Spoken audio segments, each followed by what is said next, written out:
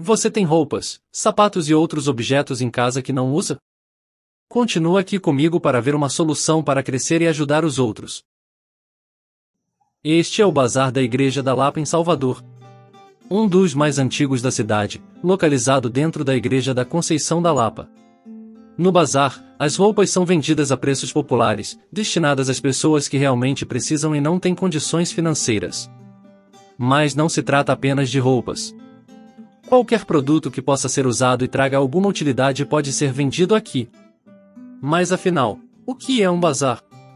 É um espaço onde as pessoas podem doar itens que não utilizam mais, para que outras pessoas possam adquiri-los a um preço acessível.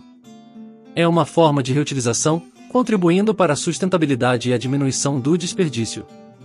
A importância dos bazares vai além da simples compra e venda de objetos usados. Doar é um gesto de amor, e é incrível ver quem é beneficiado por essa atitude generosa. Em primeiro lugar, você se beneficia ao praticar o desapego e demonstrar amor ao próximo. Ao doar seus itens, você libera espaço em sua casa e promove uma sensação de leveza e gratidão.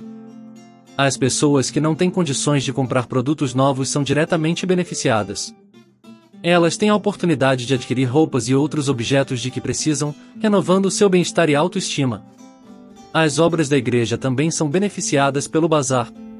O dinheiro arrecadado contribui para o sustento dessas obras, permitindo que continuem ajudando pessoas e comunidades em diversas áreas.